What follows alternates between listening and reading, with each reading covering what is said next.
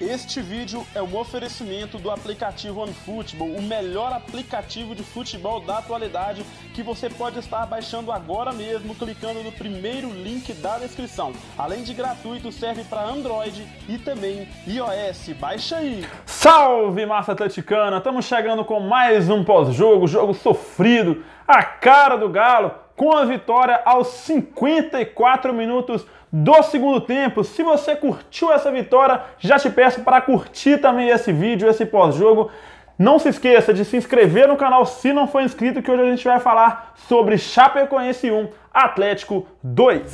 Clube Atlético Mineiro, uma vez até morrer. O Atlético enfrentou a Chapecoense lá na Arena Condá em dia chuvoso lá em Santa Catarina. O Atlético começou o jogo perdendo de 1 a 0, coisas que só acontecem com o Atlético, né, pessoal? Gol a pouco mais de 20 segundos do primeiro tempo, a primeira jogada do time da Chapecoense pela direita. Nem o Otero, nem o Lucas Hernandes deu o bote. O lateral direito Eduardo cruzou, o Everaldo livre, completamente livre entre os dois zagueiros do Atlético, cabeceou no cantinho, a bola quicou, enganou o Cleiton e a Chapecoense abriu o placar e já começou o sofrimento, né? Esse tipo de jogo é complicado. A Chapecoense sempre é um adversário muito chato fora de casa, as condições, o time do Atlético é mais técnico que o da Chapecoense, então as condições eram amplamente desfavoráveis para o Atlético buscar esse empate, né?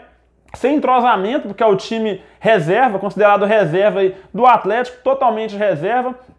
Então o Atlético teve muitas dificuldades aí para tentar o empate e estava apostando muito na bola parada com o Otero. O Otero bateu a primeira falta, foi para fora. A segunda falta, o goleiro da Chapecoense defendeu em dois tempos, né? Eu vi o lance em câmera lenta, inclusive ele faz a defesa, a bola bate no rosto dele e ele consegue fazer a defesa ali em dois tempos. O Atlético ainda teve uma chance é, com o Ricardo Oliveira de cabeça, a bola foi para fora e a Chapecoense teve outra chance no primeiro tempo. O cara, o Alan Ruschel, sozinho pela direita do ataque, isolou a bola O Atlético começou o segundo tempo já dando um susto no time da Chapecoense, com certeza o Rodrigo Santana que ficou muito bravo com a postura do time no primeiro tempo, alguns erros ali, principalmente no primeiro gol da Chapecoense, ele ficou muito nervoso na beira do campo, algumas tomadas de decisão também, vale lembrar que o Giovano estava gripado, jogou no sacrifício, por isso não rendeu tanto, mas ainda assim tentava puxar algumas jogadas, mas estava nítido, né, que o Giovano não conseguia é, mostrar o que vinha mostrando quando entra no segundo tempo. Então o jogador estava gripado antes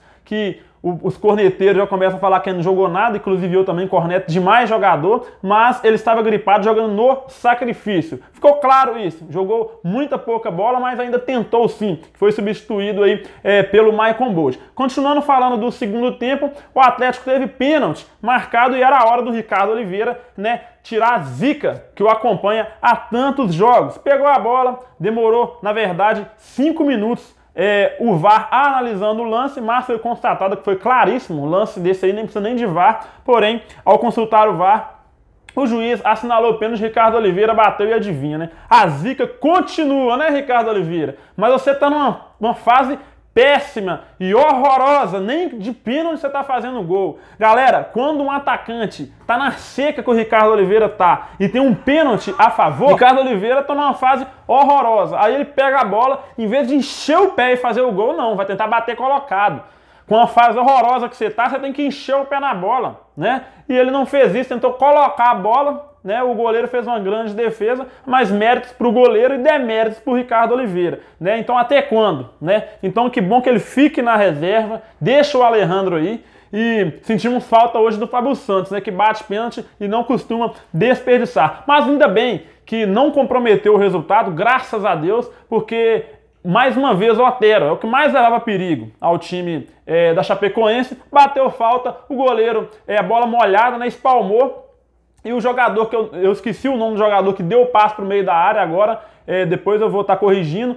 Maidana, livre dentro da área com o gol aberto, foi lá e fez o primeiro gol do Galo no jogo. Empate de 1 a 1 e ficou meio que na emoção. Ora a Chapecoense atacava, ora o Atlético atacava. O jogo caminhava para o final, com alguns lances sendo analisados pelo VAR, inclusive um possível pênalti no Leonardo Silva, é, que na verdade, como a regra mudou, não foi assinalado o pênalti, ele usa a mão para apoiar, e quando usa a mão para apoiar e a bola bate, não é pênalti. Também primeiro a bola bateu na coxa do jogador, bateu um frio na barriga, que a gente já conhece essa história, né? O Galo sempre, é, em anos anteriores, tomava gol no finalzinho, tal, esse jogo complicado aí, quase nunca terminavam com a vitória. Mas esse ano a gente está dando muita sorte. Vamos falar que é sorte, pessoal, porque não é na técnica, né? É vontade, raça e também um pouquinho de sorte, porque no último lance do jogo, praticamente, jogada ali do papagaio com o Vinícius. E o Vinícius fez uma jogada de craque, né? É, tirou o jogador da marcação na saída do goleiro, deu um belo toquinho por cima. E aos 54, gente, aos 54 minutos do segundo tempo, Toda a massa atleticana explodiu com o gol do Vina, que teve dancinha com o Guga, e a gente é, conseguiu essa vitória que nos mantém na quarta posição do Campeonato Brasileiro e ajuda também na moral dos jogadores, na moral do grupo, é, para ter pelo menos três dias aí é, de um pouco de paz para trabalhar corrigir os erros, porque tem a batalha do ano na quarta-feira. Independência vai estar tá fervendo, vai estar tá lotado. Né? A gente joga a vida na Copa do Brasil com um placar de 3 a 0 adverso. E eu pergunto para você, deixa nos comentários, você acredita? Dá para reverter? Dá para virar se o Atlético entrar com espírito de raça, espírito de gana, né, querendo mesmo reverter esse resultado, porque o que não ocorreu no primeiro jogo, né, falhas é, absurdas do Atlético, falta de vontade para reverter um placar. Você acha que quarta-feira entrando com esse espírito alvinegro de time da virada, você acredita? Deixa aqui nos comentários, não se esqueça de dar um like no vídeo, se inscrever no canal se não for inscrito. Não reparem, né, esse comentário é de torcedor para torcedor. Até guardo muita coisa para falar aqui no pós-jogo, mas com um tipo de vitória como essa no último minuto, tudo é esquecido e a gente faz mesmo uma resenha aqui de torcedor para torcedor, mas já te peço novamente, não se esqueça de deixar o like, se inscrever no canal se não for inscrito e comentar aqui embaixo a sua opinião, porque estamos todos juntos aí a favor do nosso glorioso Clube Atlético Mineiro.